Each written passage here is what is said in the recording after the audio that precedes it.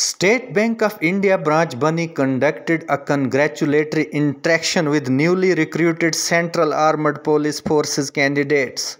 Their saving accounts were opened instantly by the concerned manager Mr. Mushtaq Ahmed.